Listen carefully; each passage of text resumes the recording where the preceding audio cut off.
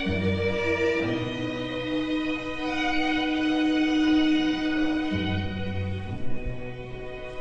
think that dance has become more and more popular thanks to you know those programs on television like So You Think You Can Dance, Dance with the Stars, Ultimate Battle, all these things.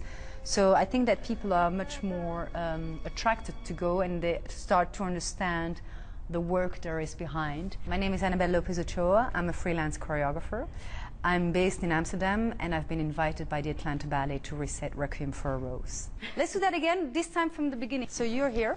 You're going to take flat here. The forehead opens. When it's good, you cannot explain why.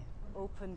When it's bad, you can go on and on with, with criticism. So it's, it's very difficult. For me, I can feel if a choreographer was afraid or not. Soutenu en tournant, chassé. If you're not afraid and you just put your soul onto the stage and you manage, because you know you're not dancing, when you manage to uh, transcend, to have the dancers transcend your idea, then it's always there's always um, yeah magic happening.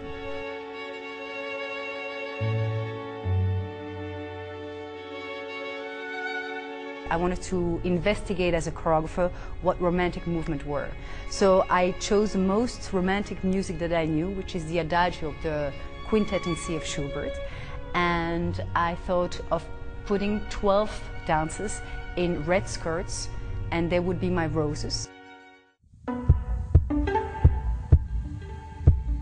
And as a counterpoint, I wanted to have one girl without skirt carrying a rose in her mouth as um, a metaphor for real love.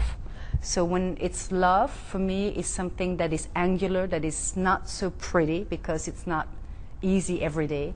And romance is the opposite. It's like a bouquet of roses. It's very pretty, but it lasts just one week.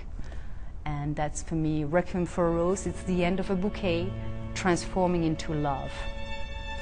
That's what the piece is about.